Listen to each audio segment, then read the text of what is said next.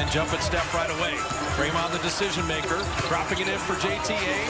Kick out Payton three. Got it!